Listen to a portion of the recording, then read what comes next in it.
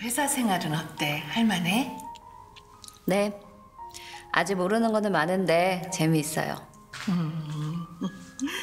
넌 뭐든 잘할 거야. 그런 건 네 아버지를 닮았나 봐. 그런가요? 에, 근데 뭐 하실 말씀 있으세요? 아, 그게 상아가 너랑 같은 부서에서 부하 직원으로 지내는 게 너무 힘든가 봐. 부서 이동이라도 시켜줬으면 좋겠는데 네가 회장님께 얘기 좀 해볼래?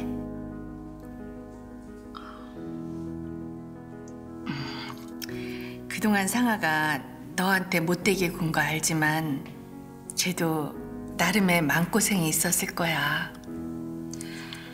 사실 모난 성격으로 컸으면 그건 키운 부모 책임이고 외롭고 불안해서 엇나갔으면 그건 그거대로 부모 책임이라고 생각해.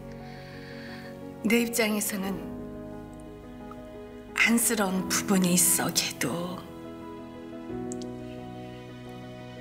내 바람은 두 사람 다 이 집안 딸로서 잘 사는 거야. 그러려면 무난하게 직장 생활하고 회장님 눈에 나지 않게 두 사람이 부딪히지 않는 부서로 사모님. 응. 아, 그게요. 상아를 정말 위하시면 이번에는 회장님 뜻대로 한번 해보시는 것도 좋을 것 같아요.